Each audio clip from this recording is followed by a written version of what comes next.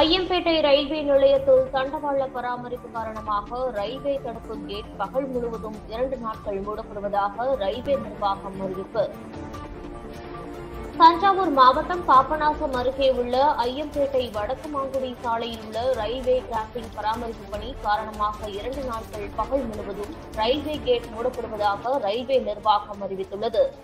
தற்போது பத்து பதினொன்று மற்றும் பனிரெண்டாம் வகுப்பு பொதுத் தேர்வு நடைபெற்று வரும் நிலையில் ரயில்வே கேட் மூடப்படுவதால் இந்த ரயில்வே கிராசிங் வழியாக செல்லக்கூடிய வாகனங்கள் பஸ் போக்குவரத்து நிறுத்தப்பட்டுள்ளதால் தேர்வு எழுத செல்லக்கூடிய அகரமாங்குடி புத்தர்காடு காவலூர் வடக்குமாங்குடி பெருங்கரை பெருமாக்கநல்லூர் வேம்புக்குடி பரோசக்குடி உட்பட பல கிராமங்களைச் சேர்ந்த மாணவர்கள் கிராம மக்கள் கடுமையாக பாதிக்கப்படும் சூழ்நிலை உள்ளது. மாற்று வழிப்பாதையில் பஸ் போக்குவரத்து இல்லாததால் மாணவர்கள் உரிய நேரத்திற்கு பள்ளி கல்லூரிக்கு செல்ல முடியவில்லை. அதனால் கிராம மக்கள் அனைவரும் கடும் சிரமத்திற்கு ஆளாகியுள்ளனர்.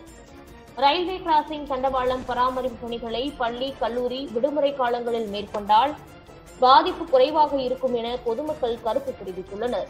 மேலும் பொதுமக்களுக்கு இடையூறு இன்றி பராமரிப்பு பணிகளை விரைந்து முடிக்க வேண்டும் என என்பது பொதுமக்களின் எதிர்பார்ப்பாக உள்ளது.